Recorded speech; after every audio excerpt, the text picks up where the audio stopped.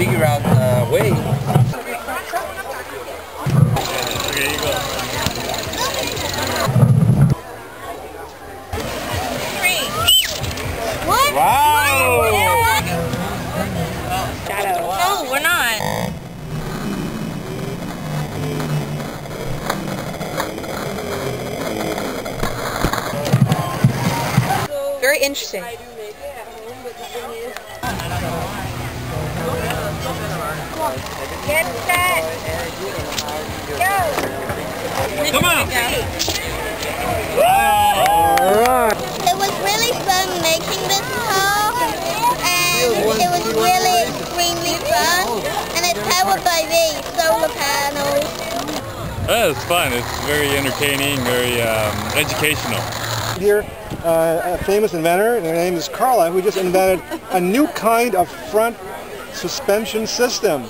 It's a mono, mono, what is it called? Mono, Mononucleosis. Just kidding.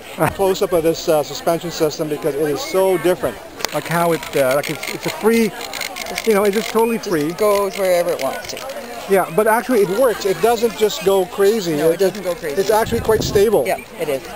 Can you give us a demonstration, Carla? Okay. There's something rough there.